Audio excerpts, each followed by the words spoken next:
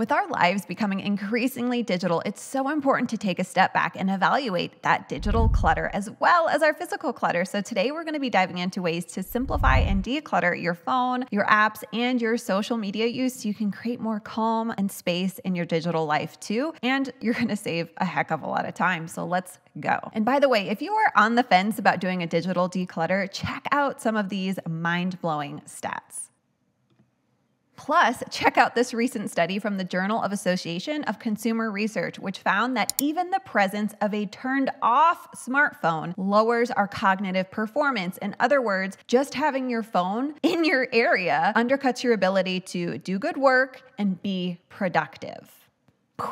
Plus, psychologists have found that even brief mental breaks created by shifting between tasks, aka cooking dinner and checking a text, or working and checking an email, things like that, and going from task to task to task can cost as much as 40% of your productive time. So I share these studies and stats because our phones and our digital clutter are massively impacting our time and our productivity. And if you think about it, phones are designed like these little slot machines. We don't need to go to Vegas to get all these widgets and sounds and buzzes and distractions, which is why my number one tip for you is to disable notifications on your phone. I did this back in 2020 and it is life giving. Think about it. Who decides when you use your phone? You or your phone? In most cases, let's be honest, it's your phone. Your phone controls the relationship. And to flip that around, you need to get rid of all the things that grab your attention, specifically notifications that can be sounds or even just the little red dots on all the apps when you have alerts or news. So by silencing and disabling, again, we're talking about non essential ones here, non essential apps. One of the first steps to regain control over your time, your energy, and your productivity is doing this. I did this for every single app, again, three years ago, and I haven't looked back. The only notifications I get, be it noise,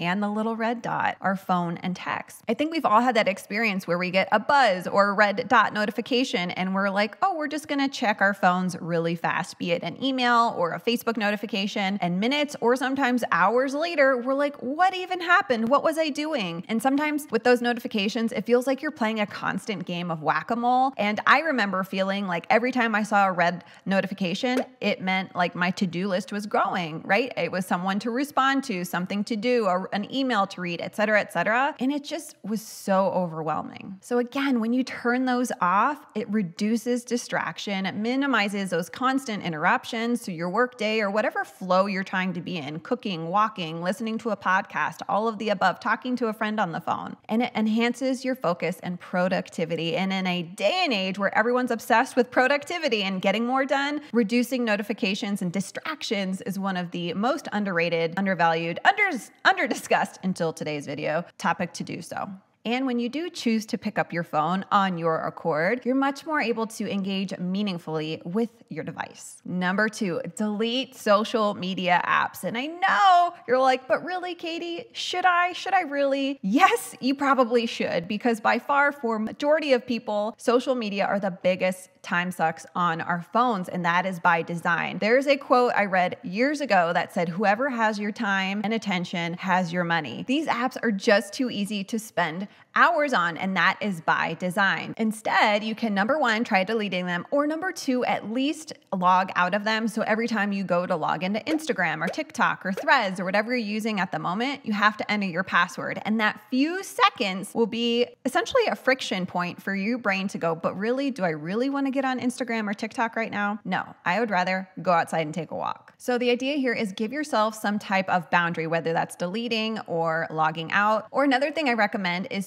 for those apps that you're spending too much time on that you want to simplify and declutter, only use them on your desktop. So maybe you delete Facebook and Instagram off of your phone and only have it on your desktop. Again, this is going to reduce that mindless consumption that we are all kind of trained to do on our phones. So if you're a little hesitant about deleting social media, even for a little bit, or only using on your desktop, I would encourage you to figure out and identify the thing that social media is giving you. Is it giving you validation, connection, community, and basically trying to to give yourself that in real life instead of depending on an app. Now, it's not always possible, but sometimes when we're compelled to constantly be on or check social media, identifying the root cause of that can help us replace it with a real life activity. Number three, use do not disturb. Every time I record these videos or anytime I'm working here at my desk in my living room, I put it on do not disturb. Now, if you are worried about text coming in that you need to respond to fairly quickly, you can also set up a text autoresponder, which I believe if you have iOS 11 or later, you can easily do in your settings. And remember, this is all about your perspective here. Some people say the downside of my tips and like putting their phone on do not disturb is that they don't answer texts and emails immediately. But the upside is that you don't answer texts and emails immediately, right? You are gaining control over your phone, not the other way around. That's the idea behind today's video, right? You are simplifying your mental clutter in conjunction with your digital clutter. Number three is to make your home and lock screen on your phone very boring. And what I mean by that is whatever's on your home or lock screen right now is probably like a picture of your kids or maybe some flowers in your garden or maybe or maybe a picture of your family on a summer trip this year. Every time you pick up your phone and see that picture, you feel good. You get a little mini dopamine happiness hit, right? You're like, "Oh, look at my beautiful family or my beautiful garden or my awesome cat." If you're a cat lady like me, maybe you got your pet on there, right? So in order to make your phone less enticing, what you want to do is remove that picture of your beautiful family. I know, I know know, you're going to replace it with something boring. Maybe just the color black, just the color gray, or just the color white.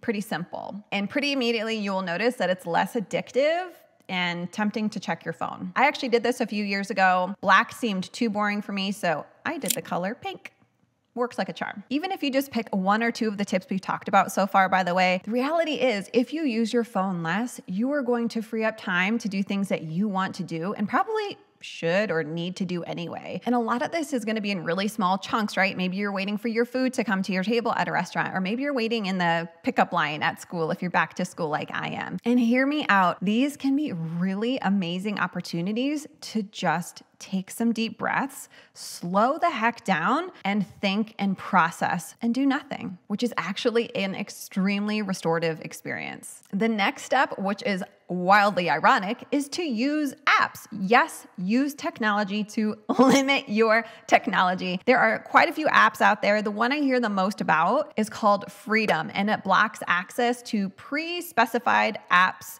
or websites of your choosing altogether, or you can enable an app blocker when you're trying to focus at work, or maybe if you go, hey, from 4 to 6 p.m. or 4 to 7 p.m. when the kids are in bed, that three hour window, I really don't want to be on my phone or check my phone, you can enable it to block you from Instagram, all the things that you're tempted to check during that time frame you give yourself. Also, if you're regularly tempted to say shop online at night or on the weekends and you're starting to realize this is a pattern that you want support with, use it during those time frames. I promise you it's a game changer. And while we're talking about apps, why not delete the apps that are on your phone that don't serve a purpose? that you don't need and are literally taking up actual digital space on your digital device. While these aren't all the solutions to fixing your relationship with your phone or decluttering all of your digital clutter, they are a great place to start to start shifting who's in control. So take some time to evaluate your digital clutter today, implement one, maybe two of these tips, and you'll be off to the races with more time, more energy, and more time to just be. Want to tackle another space? Make sure to watch the video on your screen now.